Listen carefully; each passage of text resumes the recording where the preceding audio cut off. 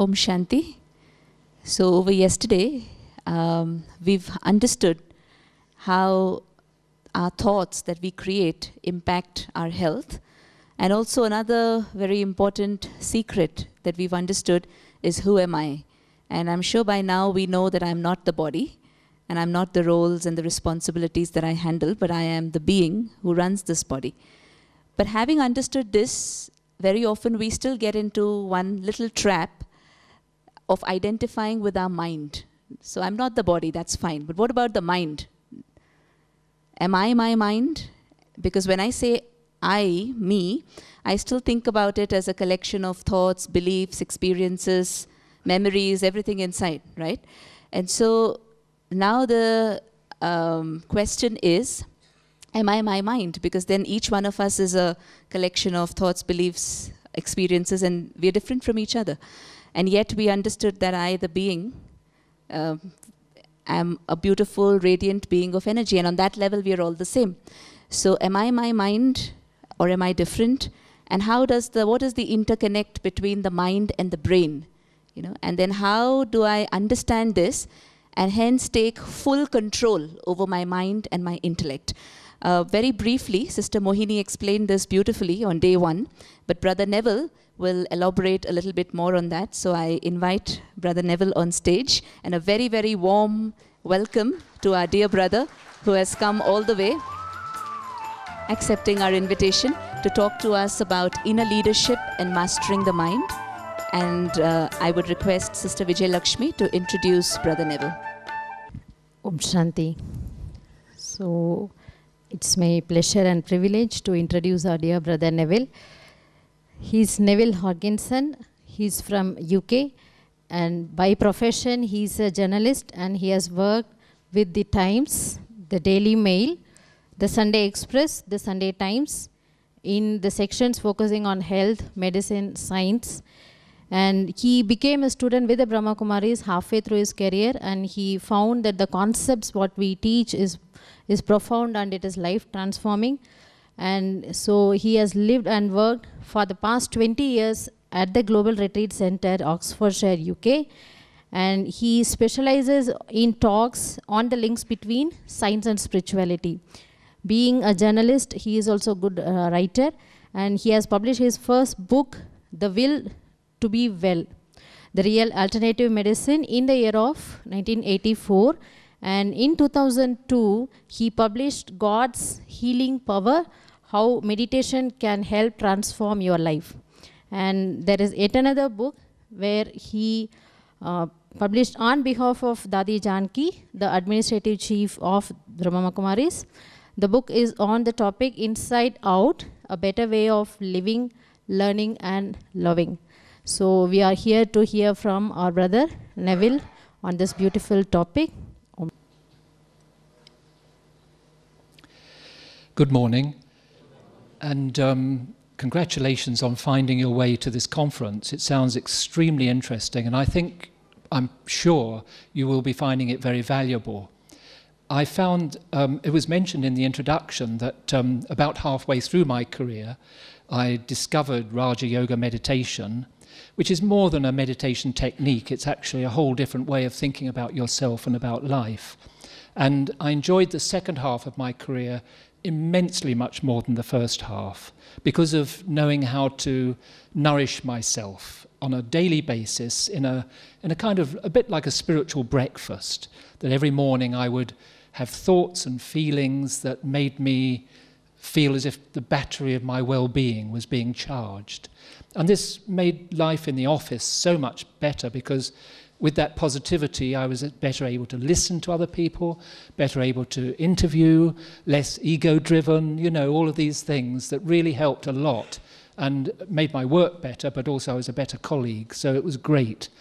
However, because of coming from um, a background where previously my hope and faith in the future was in science, because I felt that religion had done so many bad things in the name of God, you know, fighting and all of these things. So I felt science was our best hope for the future. But I developed a very materialistic perspective, thinking of spirit as being something that, if it, whatever it was, it was like something that came from the complexity of the brain. And so when I heard these ideas about being a soul and there being a, a, supreme source of energy, even though I would practice these things and gain some benefit from it, there wasn't really that much power to hold that um, as much as I would have liked because deep down my programming, if you like, was materialistic.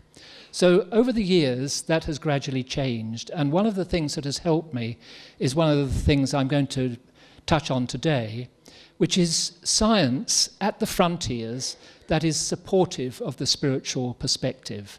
It can't go all the way. It can't. Uh, science will probably never be able to to tell you the real depths of of consciousness because that's something that is completely immaterial. However, there is a a sort of midway point uh, uh, where science is getting deeper and deeper into an understanding of the nature of this physical world. And this is actually quite revolutionary. And you probably, unless you're right up with this frontier thinking, you probably won't have heard of it in school or college.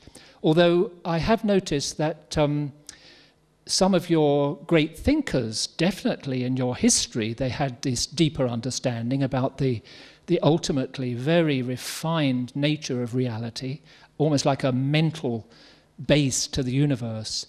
And um, sometimes in your newspapers, I came across an article a few years ago in the in the the, um, the Times of India Ahmedabad edition, um, which was I didn't understand it at the time, and this was only about 2006. But um, in the light of the researches that I've been doing, it makes a lot more sense to me, and I'll, I'll um, I may have time just to touch on something from that. So, if you'll forgive me, I'm going to enter some quite philosophical and technical territory at times, but I've also got one or two audio visuals which will which are very entertaining if if I move through the through the presentation. So um, Ranjanaben introduced the theme very nicely. The, the essence of um, this topic, from my perspective, is that it's, we have to really understand who I am more deeply than we generally do if we're to master the mind. Otherwise, the mind runs away with us. We know that. You know, you, you're you can't sleep at night because your thoughts are running here and there. You get upset, you get angry, you get depressed, all of these different things which you don't want, but nevertheless it happens. So, what I'm saying is that, yes, just meditation practice, quiet time will help, but actually, if you can see that the, that the real, the, the the real power could come from a, a big shift in your understanding of who you are, then that will be very, very helpful in your life. Let's see if this will work. At the moment, not. I might have to have that up here if that will move it forward. Ah, there we are. So, um, the power of concentration um, and in the Western countries now, the Buddhist mindfulness meditation has become really quite popular. It's understood that it's very useful as a means of coming right into the present, letting go of the past, not worrying about the future, and that there is some power gained there. Um, and the understanding has been around for a long time that you can sometimes, if you're very still, you can receive information in ways that if you're thinking a lot, you don't get. And this quote from uh, Dr. Watson, Sherlock Holmes's colleague, was exactly along those lines. That um, could it come a little closer? Actually, I can't quite read it to where I do need to read it out. Can that manage? Thanks, thank you. So Holmes knows the value of throwing his brain out of action, and Holmes would get some of his uh, big insights uh, into solving the mysteries that, uh, that he was the detective for. Um, something that is also pointing in the direction of there being more to our mind than the brain is this discovery over the last 20 years that the brain is very plastic. It is uh, maybe 20, 30 years ago, neurologists used to think that the brain was more or less fully developed by the time you were in your late teens, and that um, over the years you might get more information into it, but basically your personality and predispositions were fixed by that time. But then they've discovered, with thanks to modern brain scanning techniques, that actually the brain changes with every thought and feeling that you have. And when you have repeated thoughts and feelings of a particular kind, the brain will reorganize itself to help you have more of that. Um, so this also is very relevant to somebody who is wanting to master the mind. There was a New York Times bestseller, The Brain That Changes Itself, which, as the um, New York Times review said, the power of positive thinking finally gained scientific credibility because the writer of this book was um, brought together very nicely most of the evidence over the last 20 years indicating that the brain really does change according to how we use it. But the writer says, and the title conveys the mystery, the brain that changes itself. Well, how can it do that? And um, he said, while we have yet to understand how thoughts change brain structure, it's clear that they do. This was the writer of this book.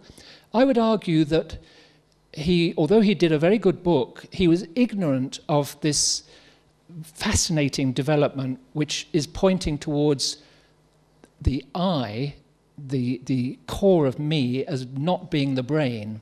And there was a nice, um, nice headline in the Huffington Post a little while ago on an article by Deepak Chopra, who the, the headline was Good News, You Are Not Your Brain. And this is really actually one of the central messages that the frontier science is giving us. So many philosophers and um, others have been examining this question, looking at the brain, trying to find a locus of, of, the, of conscious, the seat of consciousness. But as this, um, this author said, brain research has given up on the search for the pearl of self. There's no center in the brain where things all come together. In fact, there's a theory that the brain operates more like a hologram. Uh, you know, a hologram contains all the information about the whole of the picture in every part of it. And um, they're thinking that the brain may actually be rather like that in its structure.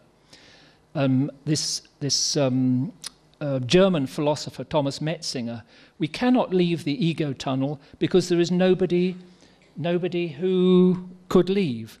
And um, again, this is betraying that, um, that bias towards thinking that the the ego, which is a construct within the brain, is all that there is to me. But the, and the psychologists tell us that we need a healthy ego. You understand the ego is like a, a sense of self that we use a bit like we use the body to live. We have a sense of self, which we call the ego, which might be like I'm six foot tall, I'm English, I'm a grandpa, I'm a journalist. You know these things so that there's some sort of structure about my thought of who I am, but that's brain based. And they've shown, these philosophers and brain scientists have shown very clearly that that sense of self is, is an illusion. It doesn't really exist inside, it's just a, a construct. So this, these, these studies, these um, findings from brain science are important uh, information for nudging us into understanding, although science, of course, is always very conservative, and most scientists are very reluctant to face the consequences of these, these discoveries, which is that the materialistic worldview is wrong. Another source of studies that has been helping to push the frontiers of understanding forward are the near death experience. You probably, most of you, heard of this. It's the name given when people actually die um, but then, thanks to modern resuscitation techniques, they're brought back again. Um, because of the advances in these techniques, which include cooling the whole body, um, which can give um, a person the opportunity, give su surgeons the opportunity sometimes to operate on a person who has died and still bring them back some hours later. Generally speaking, though, where there's a heart attack and the, the, the heart has stopped beating, the breathing has stopped, there's no blood circulating in the body, but the resuscitation techniques manage to restart the heart and the breathing, and the person returns. And it's really quite common. About one in five, according to a major study done in Holland, one in five of the people who have, who have had this experience of dying and then being brought back gives a very clear account, a very consistent account of moving. Uh, first of all, th- their consciousness is very, very much still at work, and not in a garbled way that you might expect from a brain that was dying, for example, but in a very clear and consistent way, where the individual uh, first of all, they sometimes they're observing from above what's going on. They can see the doctors rushing around trying to restart the heart. They sometimes see relatives, uh, sense their, their worry. And then they, may, they often speak of a, a, a, something of a life review where episodes that perhaps where they caused sorrow to someone and had never previously acknowledged it, it, they suddenly see it from the other person's point of view and have a realization, oh, you know, I, I did cause harm there. Not in a sense of, of um, beating up, just a kind of uh, awareness. And then, very commonly, they speak of moving through a tunnel into another dimension, which is a dimension of light. And that they speak of this unlimited light and a sense of peace and love, very much like the, the experience meditators speak of when they are encouraging you to become soul conscious and take your consciousness beyond the brain. This was um, Dr. Pim van Lommel, was a Dutch cardiologist who, who wrote this book, Consciousness Beyond Life, which is first class. Not only um, does he offer the science from his, his studies, but he, he puts these discoveries into the context of a new, a new understanding that's emerging within science of um, what's called a non-local, a non-local dimension, um, which is like means outside time and space. Enveloped by light, people experience total acceptance and unconditional love and have access to a deep knowledge and wisdom with indescribable clarity and insight. If you read the, the hundreds of accounts in his book, it's really extraordinary how consistent these stories are. These are a couple of examples. Someone said the pinnacle of everything there is, of energy, of love especially, of warmth, of beauty. It seemed as if time and distance didn't exist. I was everywhere at once and sometimes my attention was focused on something, and I was there too. People say that they, where they want their consciousness to go, they go, uh, with, right outside time, space time. Um, this, is, um, this wasn't actually a near death experience, but this became a, a bestseller also, Proof of Heaven, as, as this, this uh, neuroscientist called it. Uh, um, he had a, a viral infection that wiped out his frontal cortex for about 10 days. He was in a deep coma. And when he came back, he had descriptions of something very similar to the near death experience. So again, he'd gone beyond the brain.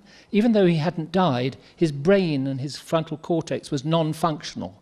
And so he, was, he, he encountered the reality of a world of consciousness that existed completely free of the limitations of my physical brain. My experience showed me that the death of the body and the brain are not the end of consciousness. This reminds me of um, one of the subjects in Pim van Lommel's study, which covered five hospitals over several years. Um, they said, um, I realized, this was when they were beyond, they said, I realized that death is just a big, nasty, bad lie. Wonderful. With, they speak this with total conviction.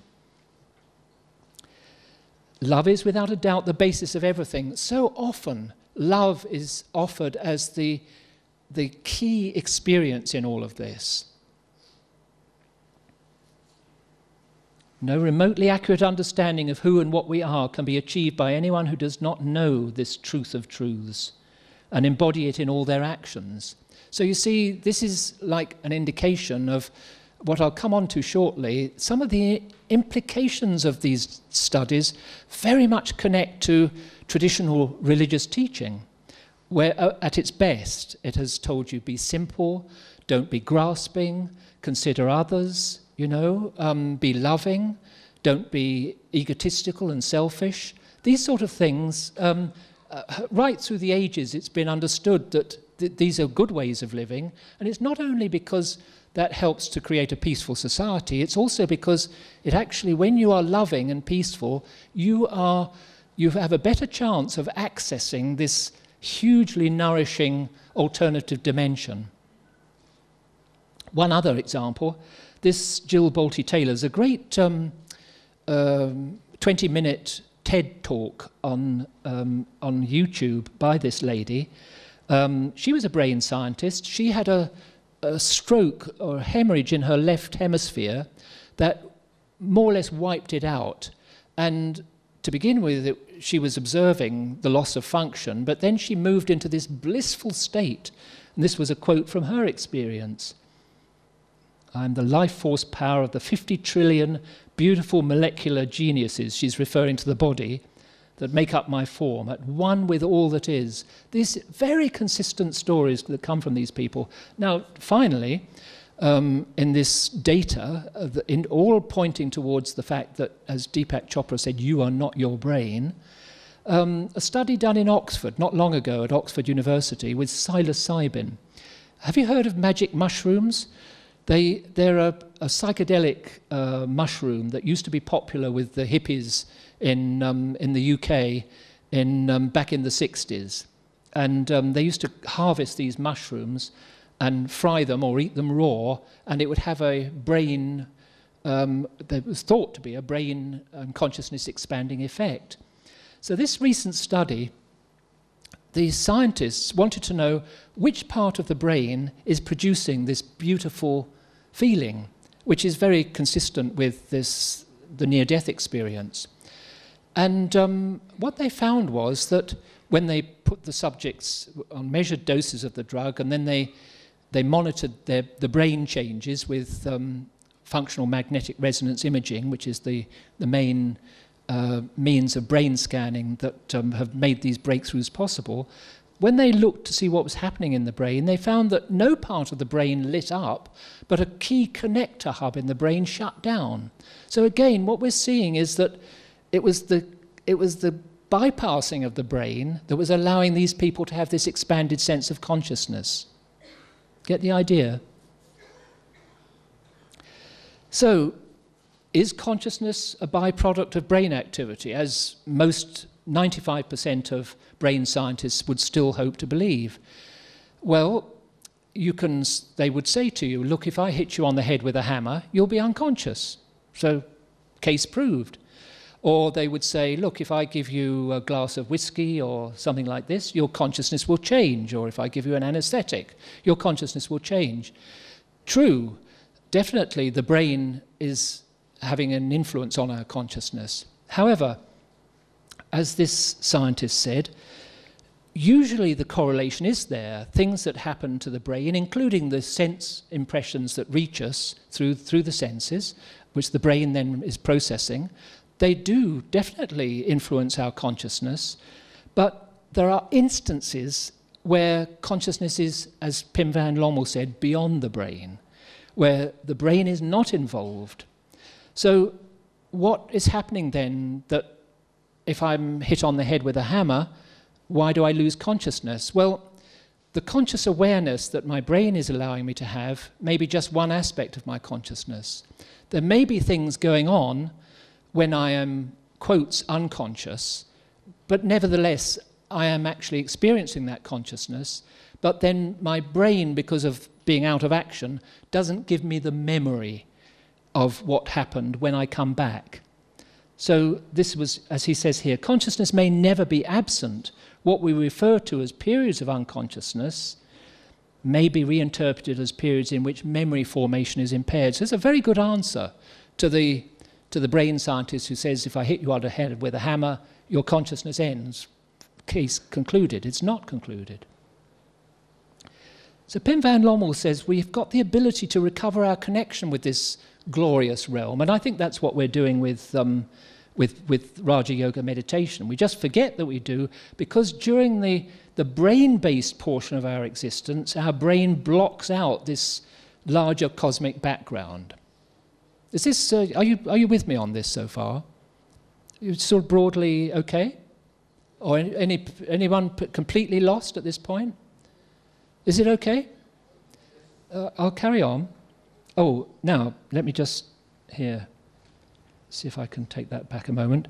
Yeah, so this is actually a nice little, if maybe this is all a bit mind-boggling, so there's, this is a nice little um, illustration of uh, what we're talking about here, brought home through the skills of th the makers of this documentary. It comes from a documentary, documentary called What the Bleep that was quite popular a few years ago.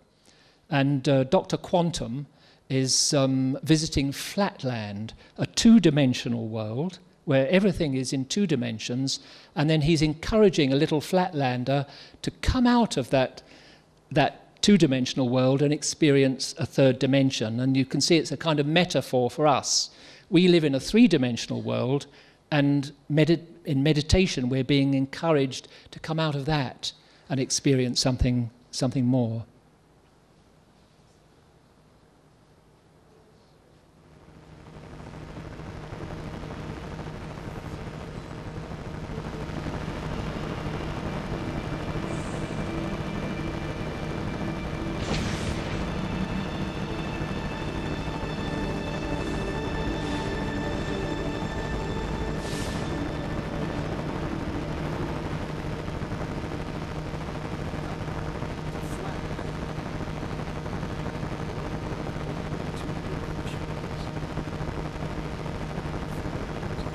Have we got sound?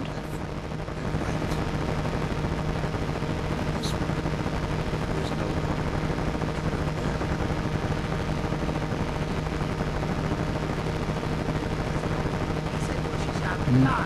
Ah. More volume. No sound. Well, just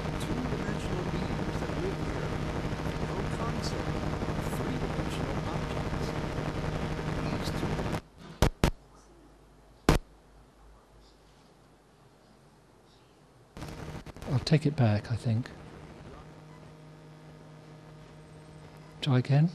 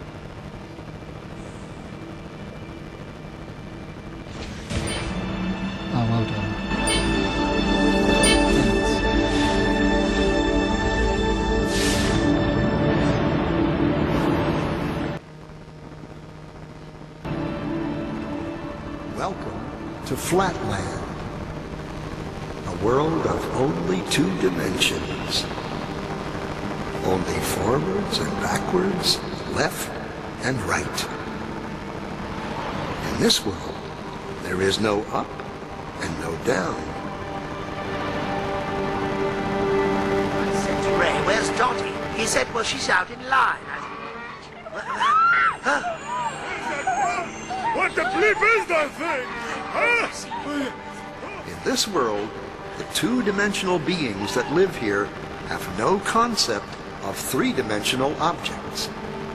These two-dimensional flatlanders have no understanding of cubes, spheres, tetrahedrons, or yours truly. From their 2D perspective, my 3D finger looks something like this.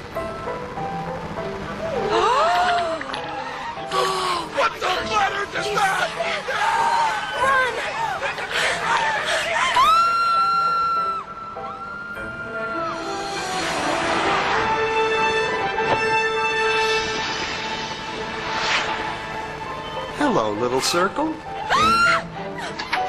Uh-uh. Fear of the unknown. Or should I say, not yet known. It's a puzzle. If we see only what we know, how does anyone ever see anything new? The unknown. How do we ever get out of our box. Hello, little circle. Don't be afraid. Who said that? Where are you? This is always the tricky part to explain.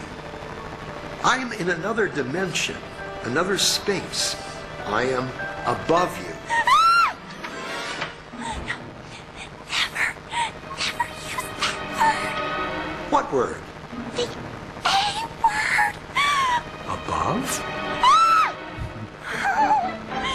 It's forbidden. Well, what do you think it means? To know. You can be severely punished if you use that word. Are you a ghost? I hope not. I just have a different perspective than you do. I can see things in a way you can't yet. Oh, yeah? Like what? Well, okay. You have a safe hidden in your pantry.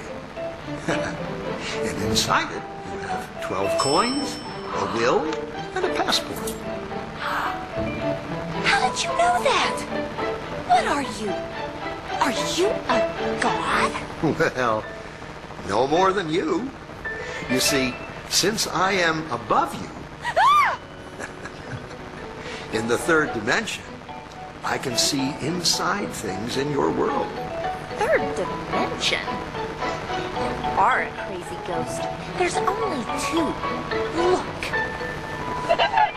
So, if I were to touch the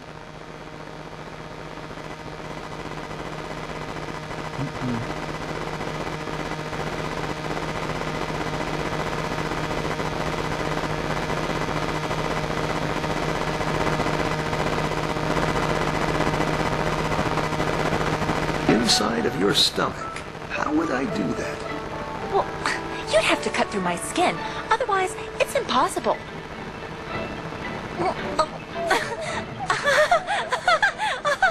Stop! Stop! Ready for more? More what? Dimensions, Oh, directions. uh, no.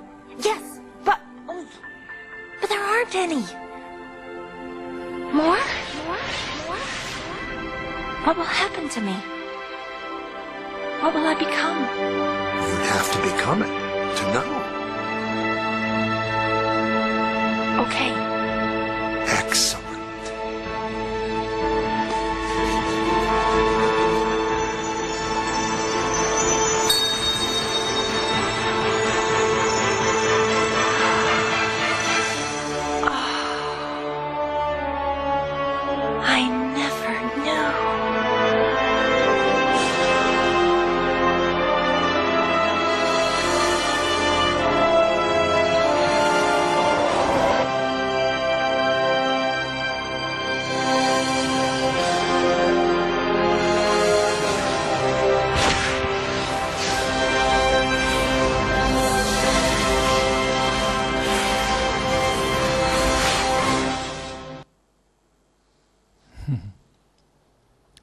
That's sweet, isn't it?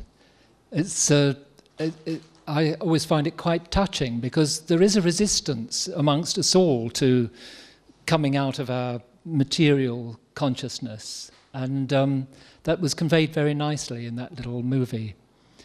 In um, Raja Yoga meditation, as you've already been learning, the, the essence of it is that we're understanding ourselves as a non physical being and we're relating to the divine, to a divine source of truth. And um, when I began, I did, as I indicated earlier, I found that it was helping to recharge that battery inside just by going into the gatherings where there were experienced yogis because it's a vibrational thing and you can feel the peace and the love when you come into the company of yogis. But um, as time went on, um, the understanding that I wanted to develop.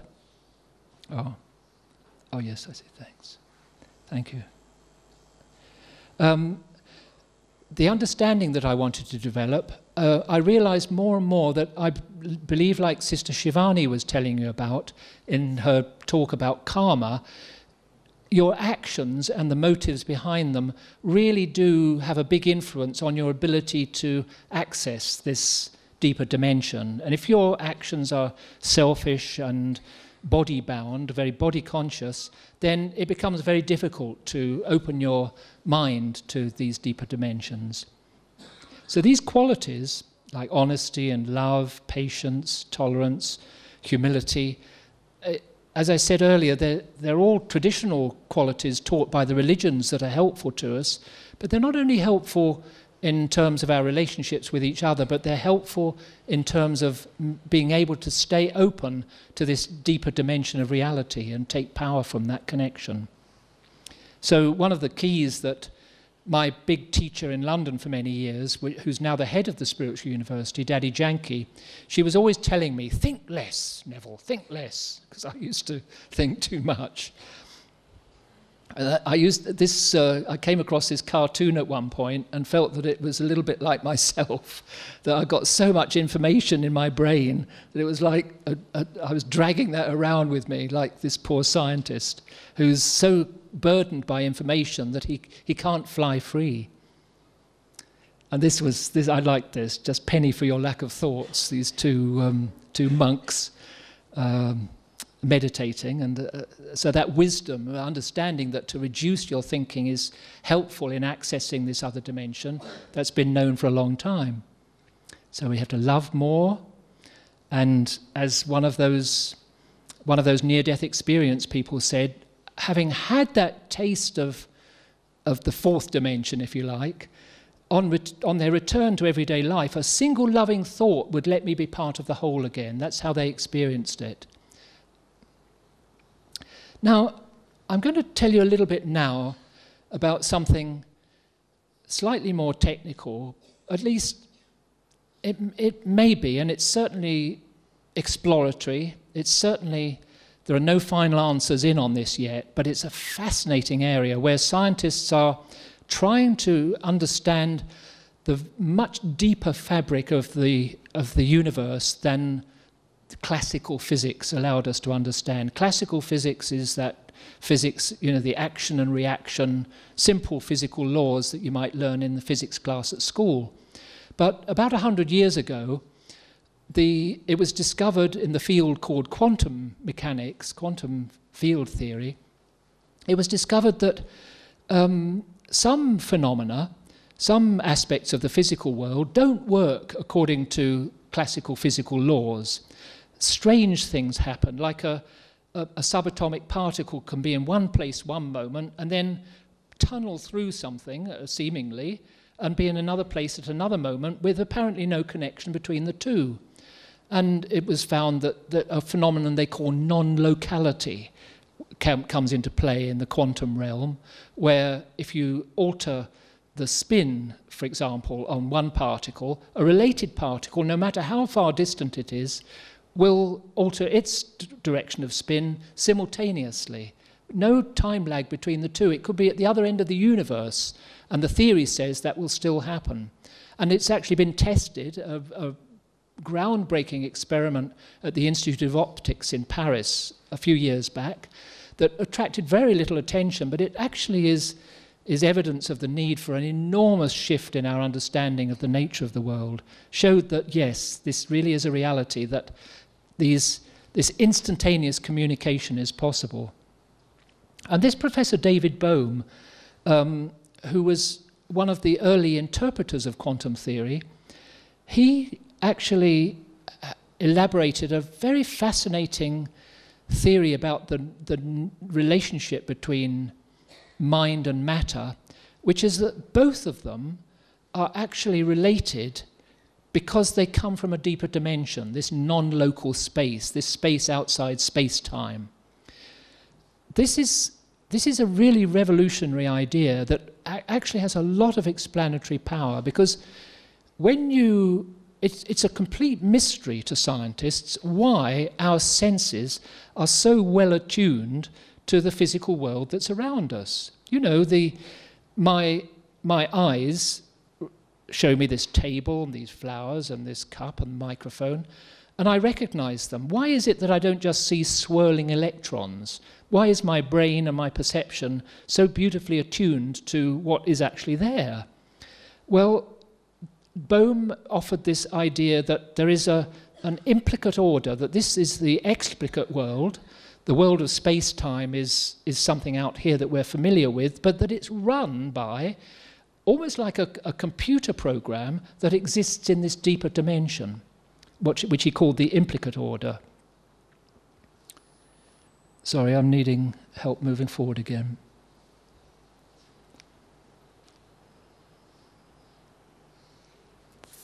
Ah, okay. So I better give a word of, bit of word of introduction to this. This is my next little audiovisual clip from Dr. Quantum, and it is it shows one of the fully accepted demonstrations of the weirdness of the quantum realm, where mind and matter seem to be absolutely intertwined. So if you're okay, we'll, we'll run ahead with this now. Of all quantum weirdness, the infamous double slit experiment. To understand this experiment, we first need to see how particles, or little balls of matter, act. If we randomly shoot a small object, say a marble, at the screen, we see a pattern on the back wall where they went through the slit and hit. Now, if we add a second slit, we would expect to see a second band duplicated to the right. Now, let's look at waves. The waves hit the slit and radiate out, striking the back wall with the most intensity directly in line with the slit. The line of brightness on the back screen shows that intensity. This is similar to the line the marbles make. But when we add the second slit, something different happens. If the top of one wave meets the bottom of another wave, they cancel each other out. So now there is an interference pattern on the back wall. Places where the two tops meet are the highest intensity, the bright lines, and where they cancel, there is nothing. So, when we throw things, that is, matter, through two slits, we get this, two bands of hits. And with waves, we get an interference pattern of many bands. Good so far. Now, let's go quantum.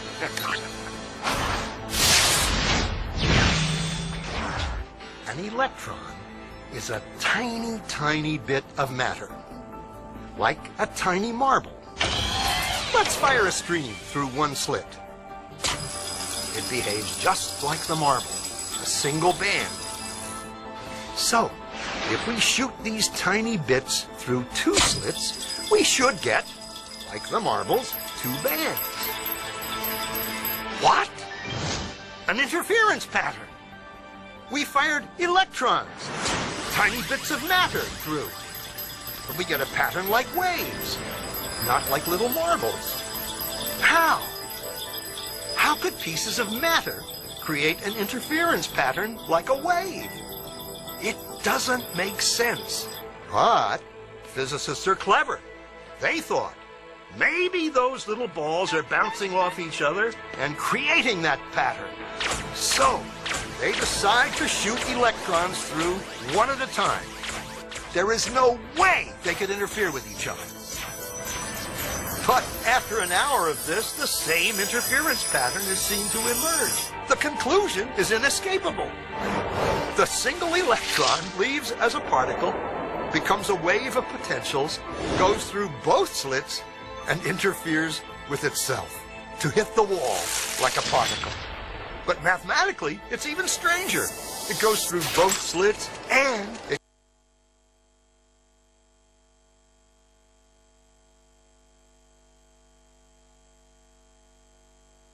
goes through neither. And it goes through just one, and it goes through just the other. All of these possibilities are in superposition with each other. But physicists were completely baffled by this. So they decided to peek and see which slit it actually goes through. They put a measuring device by one slit to see which one it went through and let it fly. but the quantum world is far more mysterious than they could have imagined. When they observed, the electron went back to behaving like a little marble. It produced a pattern of two bands, not an interference pattern of many. The very act of measuring or observing which slit it went through meant it only went through one, not both. The electron decided to act differently, as though it was aware it was being watched. And it was here that physicists stepped forever into the strange, never world of quantum events. What is matter? Marbles or waves? And waves of what? And what does an observer have to do with any of this? The observer collapsed the wave function simply by observing.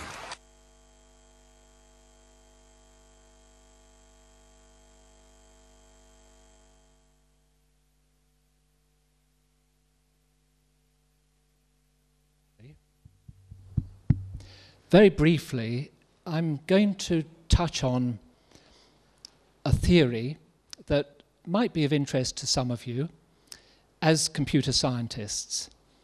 This is that the universe that we think of as the familiar world that we move through is actually being put in place by consciousness, by thought, via a huge lattice of switches infinitely interconnected at a deeper level. This is, this is actually frontline serious science. It's not fringe science. It's, it's um, emerging from the work of some top mathematicians in different parts of the world. And the idea is that consciousness is primary. The, the universe is, is put together by consciousness, which, is, which includes us, because our bodies are not us. We are units of consciousness. And there is a, a kind of program or software that is putting through this huge 3D lattice, putting in place the material play in which we're actors. It's a most remarkable advance, potentially. It, it, it's consistent mathematically. It helps people to understand quantum theory and this interconnection of mind and matter, which has been highlighted by quantum theory, totally to the confusion and um, uh, incomprehension of uh, traditional scientists working with the, the matter-based model. And um, so the idea is that it, it also helps to explain certain phenomena which until now we've had no explanation for. For example, how sometimes, you know, um, matter can be manifested by certain saints and others. India has a long history of this. I remember reading autobiography of a yogi by um, Paramahansa Yogananda, and he tells some wonderful stories. One of, one of which I remember was um, a, a Swami who could who had so mastered going to this non-local space where it's as if the play is put together outside space-time, he had been able to master the ability to bring down from there the scent of a rose. it was amazing. It took him 12 years, and uh, at the end of the chapter on this, Paramahansa Yogananda said, seemed a bit of a waste of time, why not just pick a rose? But, you know, there are these amazing talents that have sometimes been uncovered by very, very dedicated people, especially from India. And there are phenomena well known in the West, like the poltergeist phenomena, where it's as if a section of the consciousness of the person, the individual, has, um, has broken off and is able to change their reality. Um, so that, for example, a, a glass that might be in one place suddenly manifests in another place. And it does seem as if um, this is a well attested phenomenon that there's no explanation whatsoever from conventional science. But if actually we are really living in a kind of giant game world that is put together by consciousness from another dimension, then these things start to fall into place and can no longer be denied. It's the same with telepathy, it's the same with remote viewing, which was used by the American military for years, where certain gifted individuals could take their minds to a map reference and bring back pictures of what they saw there. All these phenomena, which have no place in conventional thinking because of the materialistic model, they suddenly, suddenly have a place when you shift to this, what's called this consciousness based paradigm. And an interesting idea with this is that it's not really that there's movement, it's actually more that, that, um, that we are moving a bit like with a DVD or you know, an MP3 that's showing you a movie. Um, it all exists, but you're just actually showing one bit at a time. So rather, rather than say that a particle has a trajectory, it's more like the movement of, of, a, of a computer cursor on your screen. The program, it's not really that the cursor is moving from A to B, it's actually that the programming behind that has altered where it's manifesting the, the cursor. And so these guys are saying that something similar is going on in our material world. Um, these, these weird phenomena indicate it, but actually it may be the basis of how our world operates consciousness may never actually go anywhere, but simply access whatever perspective it wants via the non local realm from which it operates. This is confirmed by those near death experience people who, when they've gone beyond the body, say that wherever they take their thought, that can manifest. Long distant memories, people that they knew long ago who had died years previously, suddenly they can manifest in front of them again. And this is consistent with some of when quantum theory was first being uh, explored and explained in the 1930s, several top scientists said that it demanded that we understand the world differently, but their voices have been forgotten for many decades. Sir James Jean was, Jeans was one. The universe seems to me to be nearer a great thought than a great machine. It may well be that each individual consciousness, that's us, ought to be compared to a brain cell in a universal mind.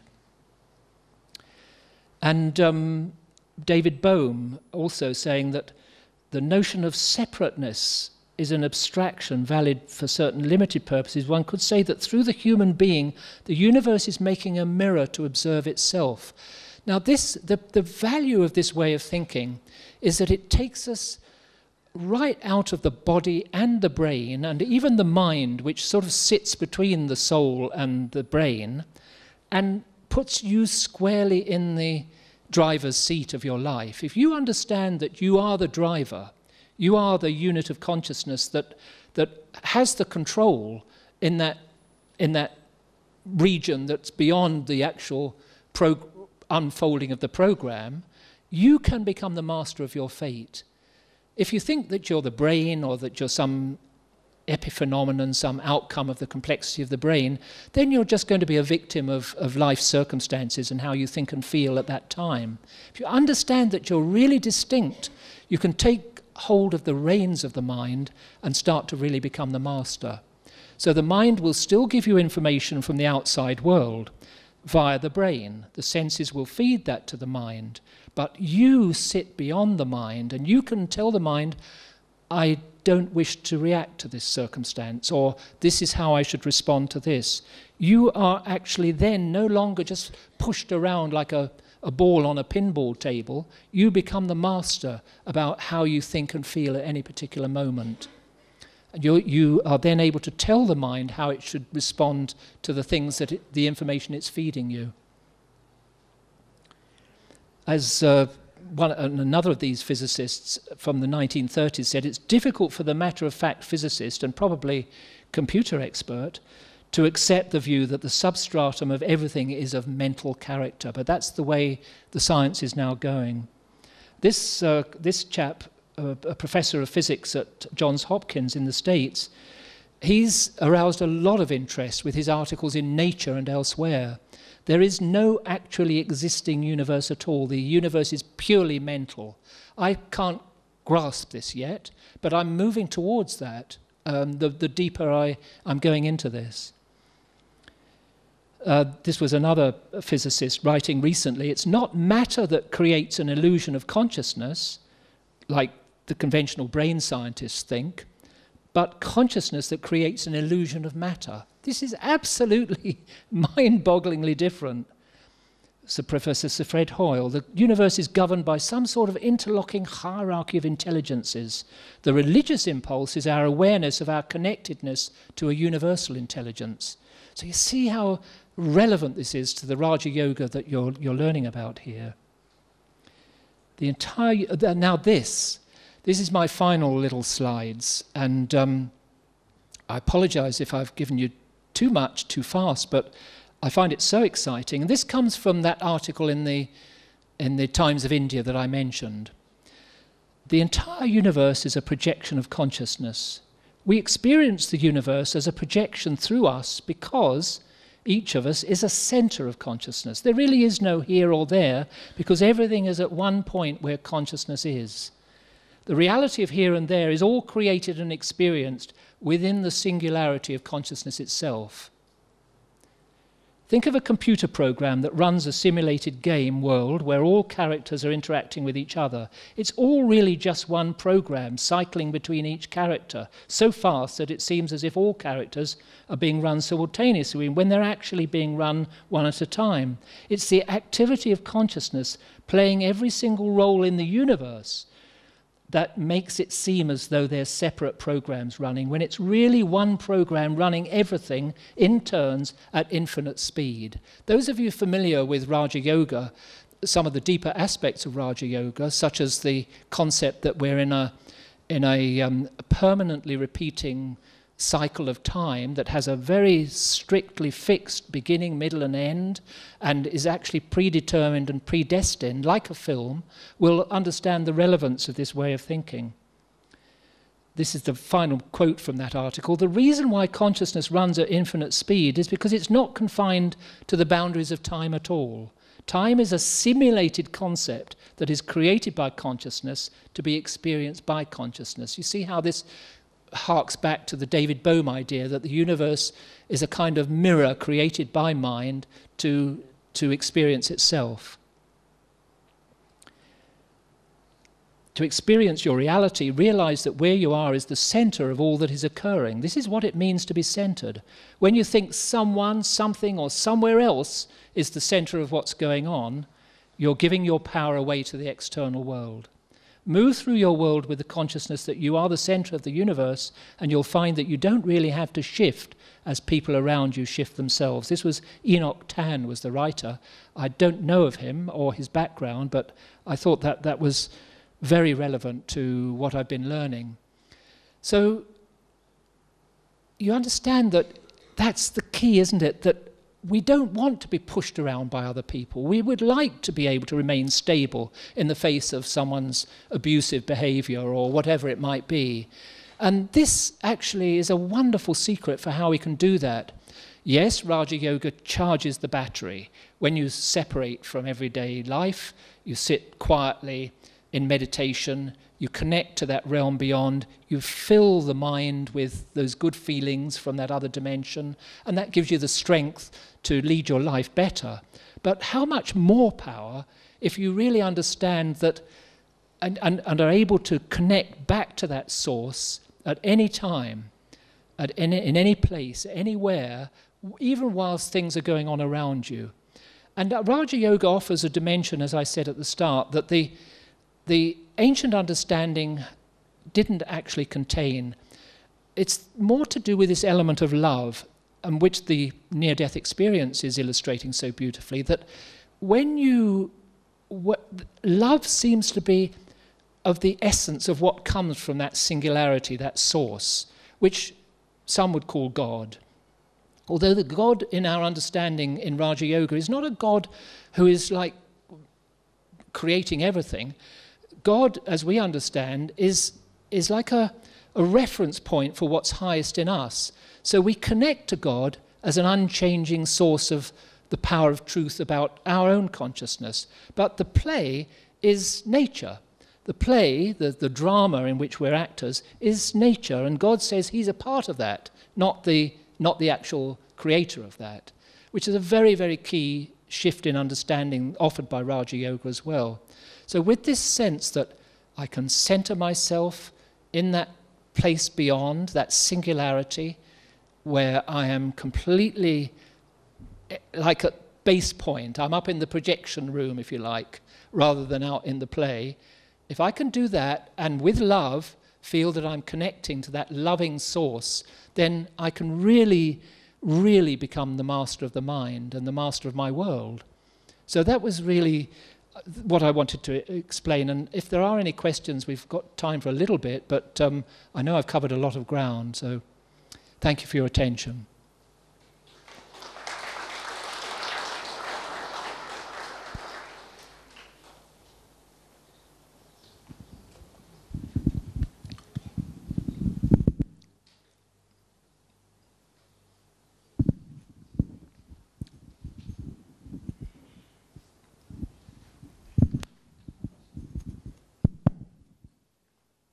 Om Shanti. Om Shanti. Thank you for, for taking this topic. Uh, this is really a difficult one to grasp, but thanks for simplifying it and uh, sharing uh, your experiences as well. Uh, it's not a direct question as such, uh, but when I uh, saw the video, um, it's scary, first of all. because whatever I see, see, I communicate to the entire world around me through my sensory organs my eyes, uh, the touch, the feelings and all.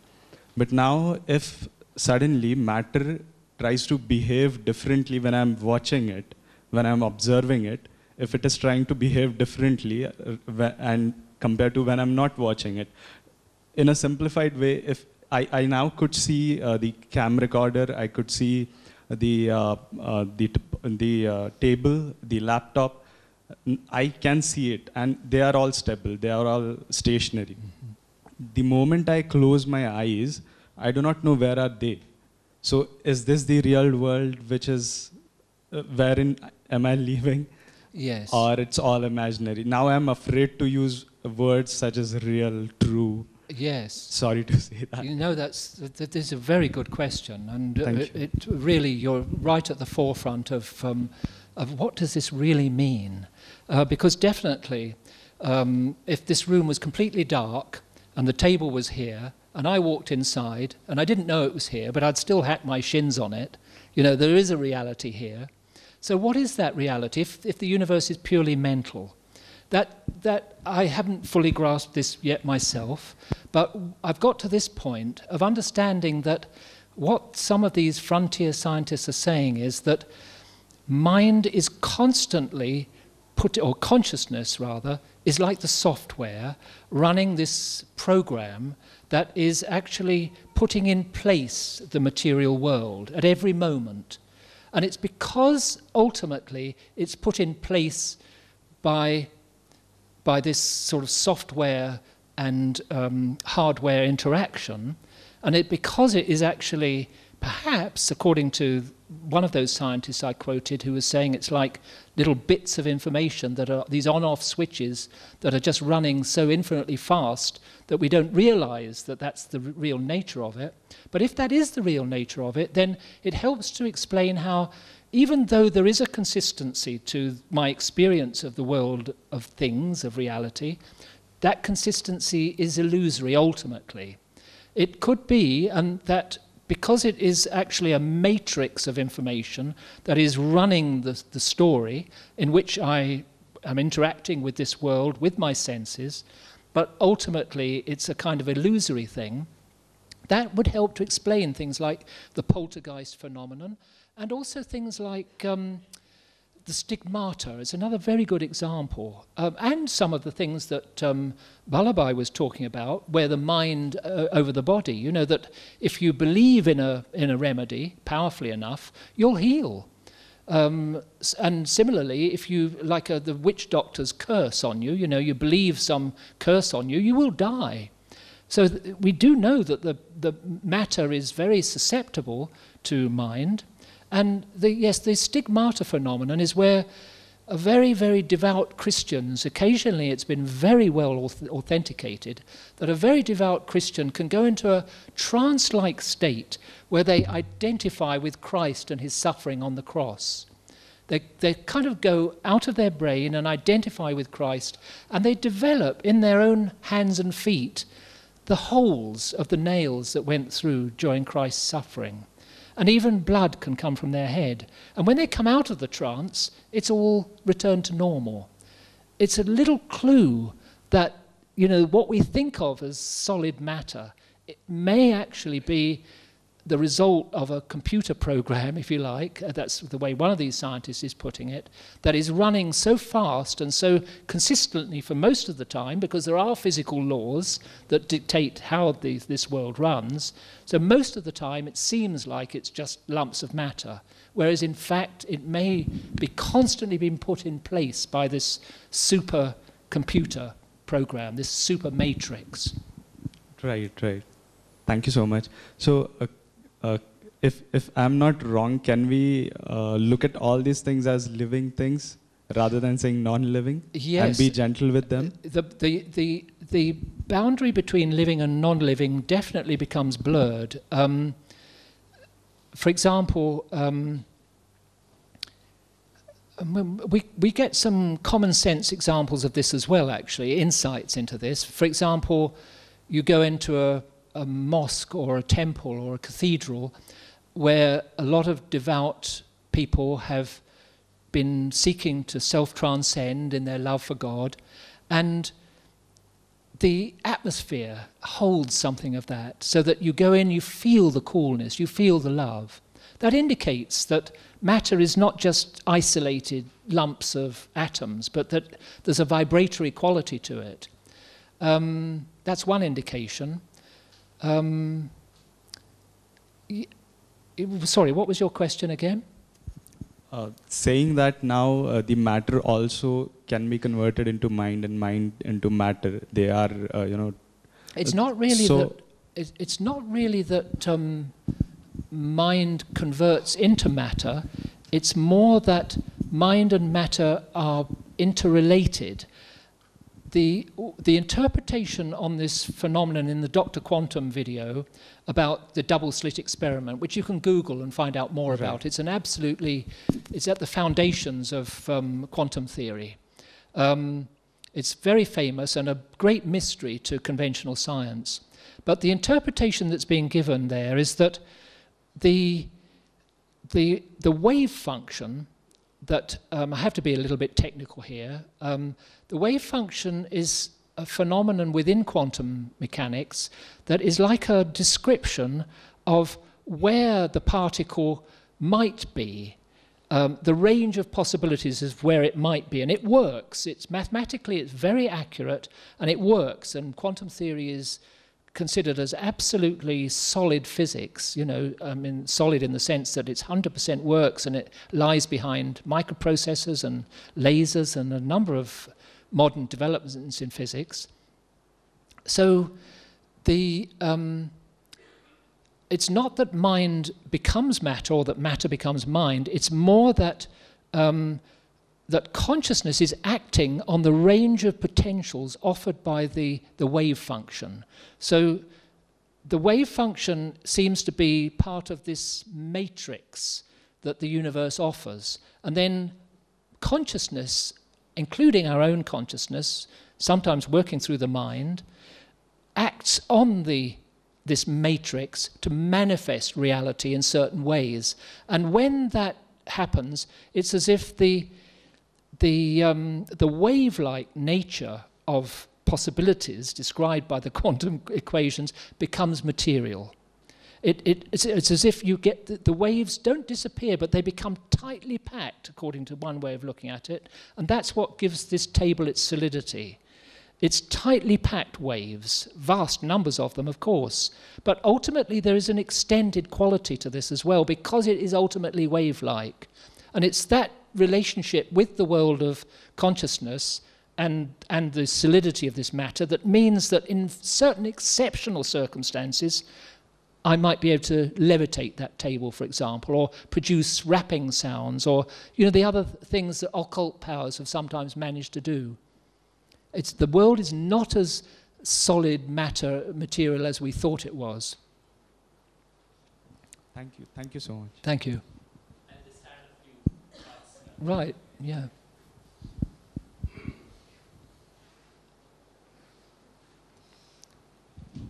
Well, Om Shanti. Let me simplify and then what Neville Bhai has just shared answer the question. When he talked about wave function and a lot of possibilities and consciousness solidifying something, I'll explain in simple terms. You're sitting here, correct? And you have number of choices. You can stand up, you can sleep, you can hit that brother, you can kiss that chair. These are all multiple options of a wave function. And as a person, you decide what to do to listen, to stand up, or walk.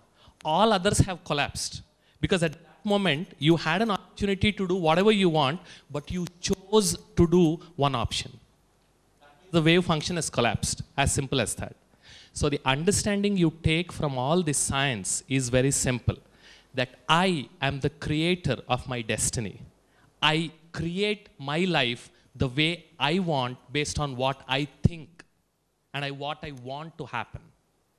Rest everything they will have their influence, but you decide, you choose. That's what science is coming around and again and again giving that control to us you know what, we are learning as a part of Raj Yoga that you are in charge, you are in control. Gum firake science bhi wahi suna raha hai. Yeah, they'll use a lot of different terms, a lot of different terminology, but the idea, when they talk about consciousness, you consider it as self. When you say consciousness, while it observes that solidifies universe, that means you are choosing that option. At our level, we can understand it in this manner, that is sufficient. So you have options to do whatever you want at every single instant even though we don't think about it. But you're only choosing one of those multiple options. And who is choosing that? You are doing it. And now science is saying consciousness is powerful. You can exert your choice. And to your question about mind influencing matter, in simple terms for our understanding, when you feel sick, do you feel good? When you feel sick, do you feel good? No. So the body felt sick, not the mind, right? But the sick body is influencing your mind. And a healthy mind, if you are very happy, how do you feel inside the body in terms of when you're eating or having something? You feel good.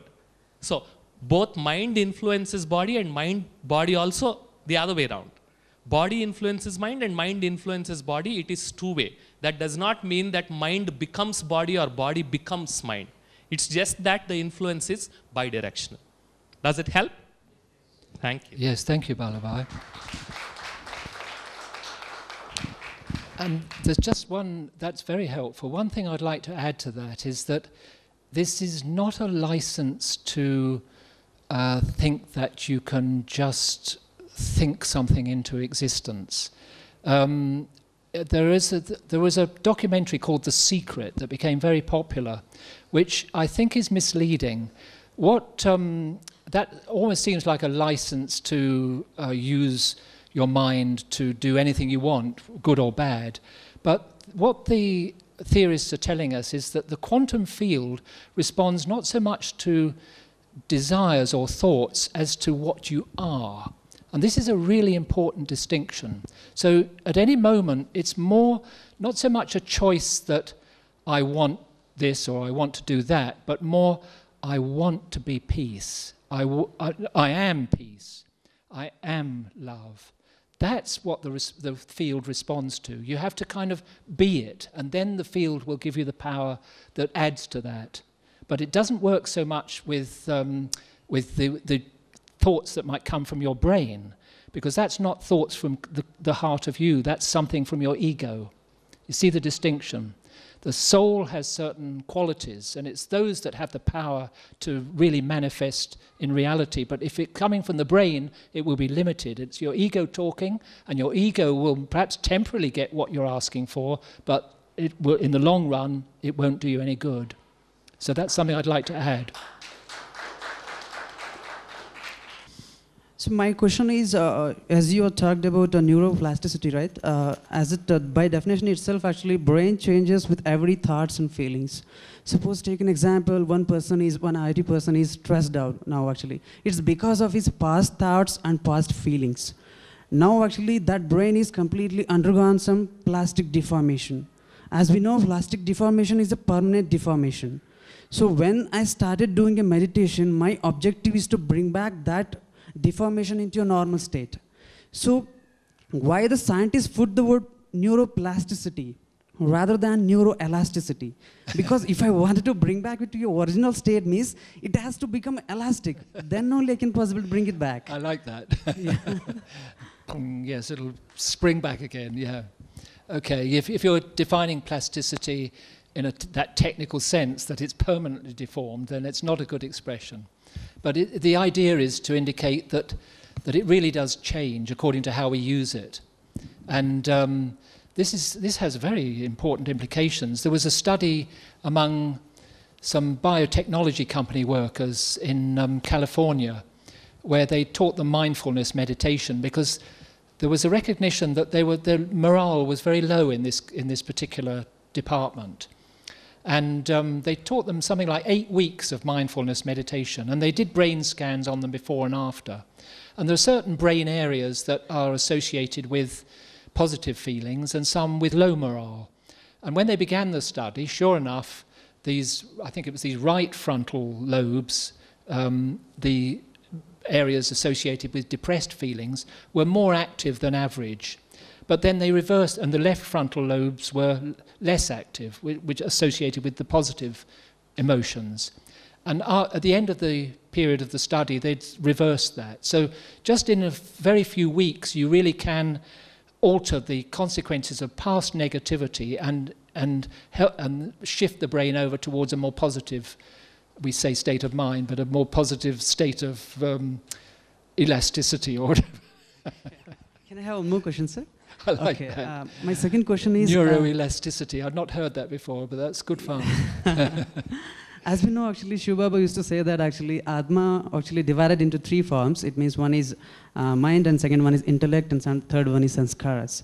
Now, our topic of discussion is actually mastering the mind. So, our, right now, actually, if I'm started doing a meditation, means my mind is not a master.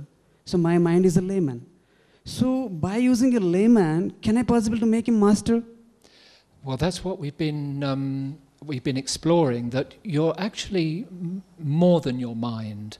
The mind should be a servant of yours. The reason that you feel, when we feel that that we're mastered by the mind, it's because we are brain based in our consciousness, and the mind is being influenced by what happens through our brain, through our senses. So then we feel as if we're not, in, not the master of the mind. But if we go beyond the brain and shift our awareness to that centered space where we're connecting with the source of love and peace and truth, and also actually the, the, um, the reference point of, of the human family, when we connect to that source, we empower ourselves and we're the, the power comes to this side of the mind. It's like the mind is like a two way mirror you know, on the one hand, it's reflecting what's happening in the body and, and, and as mediated through the brain. But if you're too focused on, on that part, obviously that's necessary to know to handle your life. But if you're too focused on that part there, and you neglect this side, then you cut yourself off from this wonderful source of, of positive feeling and strength. So it's very important from time to time, and ultimately the yogi aspires to maintaining that connection with the non-local source of, of, of power, even in action. But to begin with, as you're learning to meditate, you still the brain and the thoughts and the senses and connect in that way, and then the mind takes strength from that. It's like I said at the outset, it's like charging the battery of your well being. And of course, that comes through to the brain as well for the reasons we've discussed. then. Supreme Soul plays a very important role then. Very important role. Yeah. I, I, it's got to be God. Yes. Honestly, I feel this. I, because of the influence of our past actions, not only on the brain, but also on the soul itself, because the soul has had this journey through time Yes. and it carries the impact of past experiences, some positive, some negative. And so we do have habits within the soul itself of a negative kind. That's why it's so important to connect to the supreme, because that is where absolute truth lies. And with that, with that sense of connectedness, this is the real meaning of yoga, then I have God's strength to help me to react to everyday life in a much more positive way. Thank Yeah. you, sir. Thank you.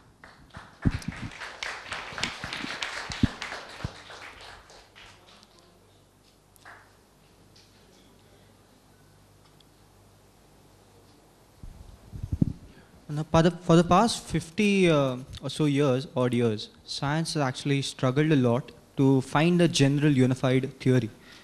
See, when uh, I love the way you presented quantum theory, it's uh, very simple terms. So, uh, the question that bothers me, currently is that uh, you have a different set of laws for when you go into the quantum. However, the same laws don't apply to our world. Similarly, when you go on a larger, broader perspective, you have relativity. So those are two complete different uh, sets of laws that govern two different worlds. Although everything is made of the same atoms and same molecules. So that string theory recently came close to answering the question or unifying the both the theories together. So the question now, but the re- recent recently string theory collapsed, as we know. So the Recently, question, sorry, what collapsed? the string theory. String theory. Uh, well, some think so, yes. yeah. So, so the question is that could spirituality and the things we talked about today over here, Raja Yoga and the way we talked about matter, are we looking at the question in a different way? Is it that we our perspective is different, and could uh, spirituality and Raja Yoga- be the key missing link Yes. to join the two different? Things? I think so. Yes, I do think so. Yeah, I think that the the struggle to find a unified theory of the way the physical world operates has proved, as you say, it's proved unsuccessful to date, and I think that's because consciousness was left out of the picture. But the these indications that uh, by these frontier scientists, such as this one who's saying that actually the whole thing is like a a series of these switches, like this giant computer program, with then consciousness being the software, the information that works through that, I think we may start to get towards something that is really comprehensive. But ultimately, that, that comprehensive picture has to include a, a really different set of laws which relate to consciousness itself. And that's where the Spiritual University has some real experts, because you've got guys here who've been working for 80 years in understanding consciousness very, very deeply, understanding its impact on the mind and on our actions. So there are, there are some laws that, that relate particularly to consciousness itself, which are separate from the, the, the physical laws of the physical universe. Although ultimately, according to this way of thinking, consciousness and the material world are very interactive consciousness has put the, put the material world and its laws into place in, in, this, in this picture in order to be able to, like David Bohm said, to be a mirror for itself. It's like a, it's like a giant form of self expression, a huge play of, uh, of, um, of winning and losing and finding and losing and loving and losing and this enormous adventure of consciousness in the material world with all the complexities of life is ultimately, I think, only understandable when we move beyond looking only for the laws that dictate how the, the world outside works. Because ultimately, it may be, like some of those scientists I quoted, that this is really purely a mental, a mental universe. That's something, a concept that I don't fully understand yet, because of the reality of hacking my shin on the table when I don't know it's there. But nevertheless, there's a lot of evidence uh, uh, at the frontiers moving towards this kind of picture. So I can't give a full picture on that yet, but it's very exciting, and I strongly recommend you keep an eye, watch this space because it very much involves um, IT as well. Because of the, I have the sense that the incredible developments in the IT world are there within this huge creation of consciousness, this play in which we're actors, partly in order to lead us back, to give us clues about the ultimate origin of ourselves and this enormous play.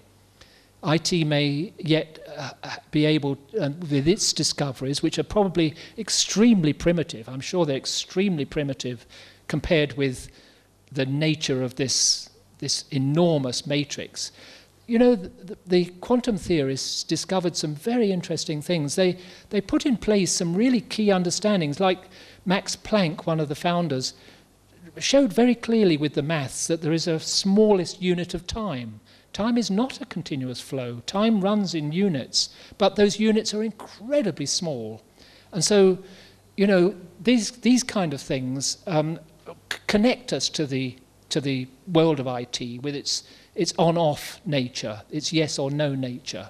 And with, it, it's an exploratory field, most scientists are still very locked into the materialistic paradigm, but there are some really exciting developments underway. So they're worth keeping an eye on because they give you a sense of, of the rightness of what you're doing when you, when you learn to become soul conscious and God conscious. So we better leave it there, but um, thank you very much for your patience. Thank you very much, Brother Neville, for. Uh, throwing light on this relatively complex subject, uh, and however, showing us the depth of what has already been discovered. And of course, then it's yet a personal journey for each one of us to discover the reality and the truth for ourselves. And like he very correctly said, uh, and we saw in the film that you wouldn't know until you become. So, so that journey is ongoing. So all best wishes and thank you very much, brother. Um, just a little announcement. Those who haven't yet collected your gifts uh, are requested to stay back now uh, after the two minute silence and take your gift from